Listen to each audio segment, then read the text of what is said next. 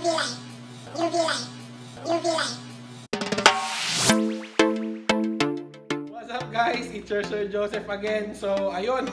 Ah, medyo matagal lang hindi nakapag-upload. Sana napanood nyo yung aking ah, pagbabalik exotic hobby, yung ah, feeding and rehousing video. So, nagpakain ako ng mga scorpions noon, tsaka nagpa ano, nag nag-rehouse ako yung bagong mold na ano na scorpion ko ni pinilipat ko siya ng bahay. So ngayon, ayun, may, na-curious talaga ako tsaka sobrang ganda ng mga creatures na to, no. So bumili ako ng UV light na ilan ba to?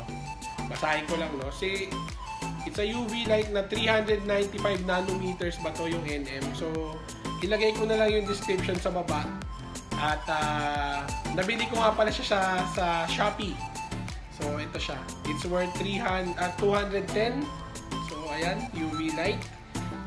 And speaking of Shopee, guys, um, pa, ah, i-promote ko rin yung ah, YouTube channel ng mahal kong si Tessa. It's called Tessa Vlogs. So, ah, manood din kayo ng videos niya, hit like and subscribe, and also the bell icon na rin para ma-notify kayo sa mga uploads niya. So, ang may dalawang video pa lang siya, it's yung ah, Shopee finds niya. Napakaganda ng videos na yun, napakamura or, or affordable yung items at magaganda for home decor. Ah, meron doon uh, ay, ah, phone holder, merong ah, humidifier. So, check out nyo na lang yung channel niya. Ilalagay ko yung description sa ibaba. Ah, it's Tessa Vlogs. So, paki-like and subscribe na rin siya, no? Ah, if you're a fan of Shopee. Yeah, katulad nito, nakuha ko sa Shopee. Okay? So, yeah, UV light. 210. Ilalagay ko rin yung link sa mga nagkikip ng Scorpions dyan. If, if you want this type of uh, flashlight para mak- makita nyo yung mga pets nyo na umiilaw under UV light, ilalagay ko yung link sa baba. Punta na rin kayo ng Shopee. Okay? So let's proceed. Ipapakita ko sa inyo yung mga scorpions ko at uh, ano yung effect sa kanila ng UV light. And of course, i-explain ko rin kung bakit sila umiilaw under the UV light or black light natin. Okay? So ito na guys. So yun nga guys. Ayun, meron ako ditong scorpions, no? Na tatlong Ayan, wait, wait lang. Napakita ko lang. Ayan, meron akong tatlong Hotentota, Hotentota, Scorpions. I think nakita niyo na siya sa first video ko.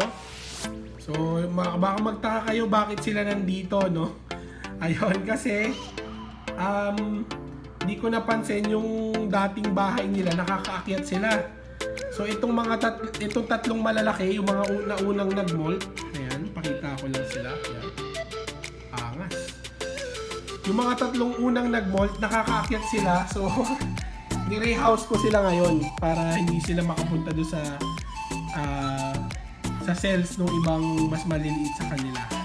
And um, later, papakita ko rin kasi meron akong bago, meron isang Hottentot ako nag-molt din.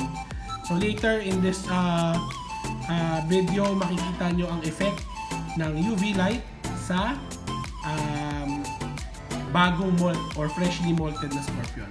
Next, meron ako ditong tatlong LQD or Lyrus quinquestriatus or tinatawag nating Death Stalker Scorpion. So, papakita natin kung ano yung effect sa kanila nung um, ah, UV light. At wag natin kalimutan guys, meron tayo ditong ayan. Ang hirap pala magbukas pagka mag-isa lang, no? So, yung idol ko na si Schizopelma, ganito pala feeling. So, cut ko muna guys, bubuksan ko lang to. Kasi meron din ako tatlong H Longimanus or yung Forest Scorpion natin. Cut ko lang guys. And we're back. Ayan.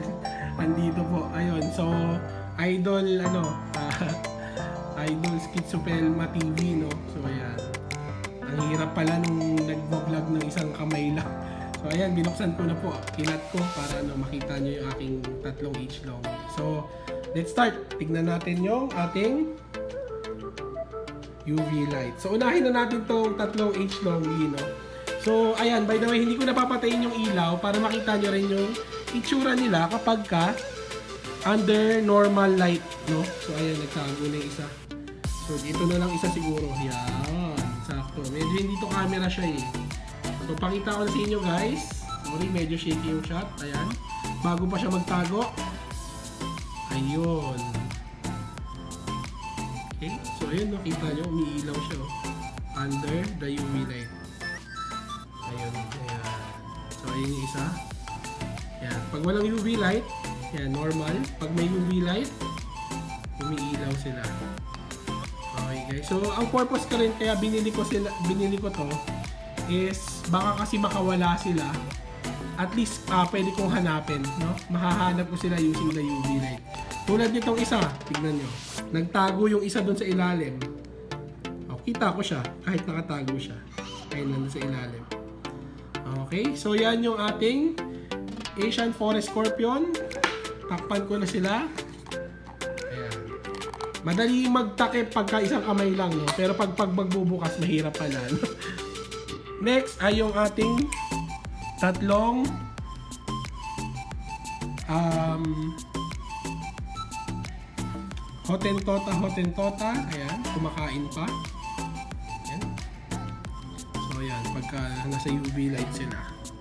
Nakita ba? Ayun, umiilaw din sila. Ayun, oh. See? At ito isa, kumakain. Sarap ng kain nila eh. Ito yung mga nag-molt uh, last week tsaka 2 weeks ago. So, ayan, oh. Umiilaw sila under the UV light. So bakit nga ba umiilaw ang mga scorpions under UV light or sa black light or kahit sa natural moonlight? So kulay green sila kapag uh, umilaw sila at ito da ito ay dahil sa substance na nakikita sa kanilang hyaline layer or uh, ito yung layer na manipis at mat, uh, matibay na coating na part ng kanilang exoskeleton na ta ang tinatawag na cuticle. So, ang napansin ng mga researchers dito is pag freshly molted yung scorpion ay hindi pa siya umiilaw no sa UV light. So, kailangan tumigas pa nung cuticle nila.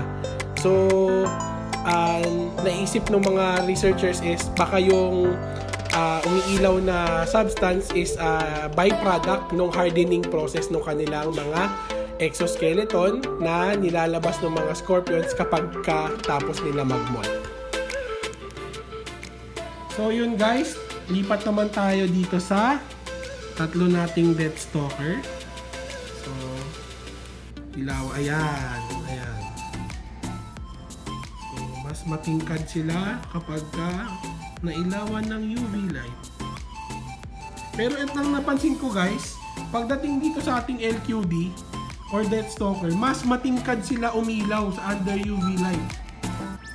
Nakita niyo yung difference? So, ito yung LQD. Ayan. Napakatingkad nila umilaw under UV light. Talagang mas matingkad ang LQD sa Hotentota pag nailawan. So, pagtatabihin ko sila, so ito yung LQD nasa kanan, yung yung total total na sa kaliwa. So pag inilawan ko sila both, ayan guys, nakita nyo? Mas matingkad. So I'm not sure kung yung concentration ng substance sa skin nila is mas mataas. Pero ayan, yan yung difference. So hindi sa camera ko. Ito yung Hotentota. May ilaw din naman. Pero pagdating do sa LQD, grabe, ang tingkad niya umilaw under the UV light. Okay? So, yun guys, ang testing ng UV light sa ating mga scorpion. So, ito ulit yung LQD or Death Stalker Scorpions. So, yung next clip na papakita ko nga sa inyo is um, ano ang epekto ng UV light kapag freshly molted naman yung scorpion. So guys, tignan naman natin yung effect ng UV light sa isang freshly molted na scorpion. So yung kanina, yung mga unang pinakita ko, mga hindi pa sila nagmo-molt, no?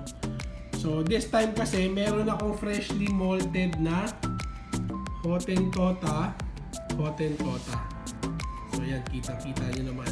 Focus ko lang, ang angas. Kakapalit lang niya ng damit mga kaibigan. So, pakita ko na sa inyo yung effect ng UV light. So again, ito, I have my UV light. Okay?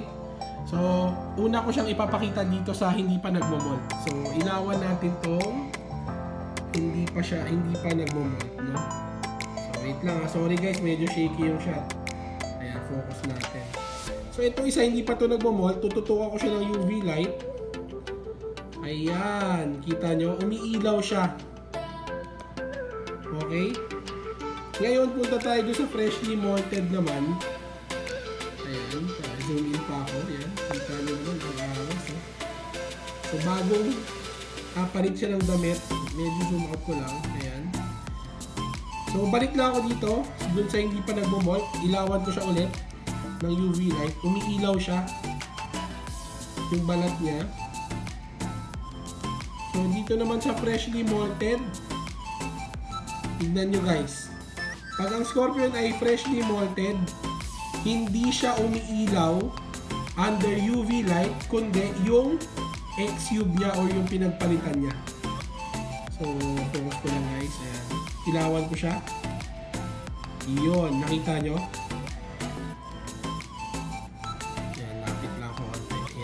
Kita nyo? So, ayun siya sa taas eh, oh. Andun siya sa ano, katabi niya yung pinagmoltan niya. So, ito, ulitin ko. So, yan. Andun siya, pin- katabi niya yung X-Cube niya. So, pag inilawan ko po yan ng UV light, yun, nakita nyo.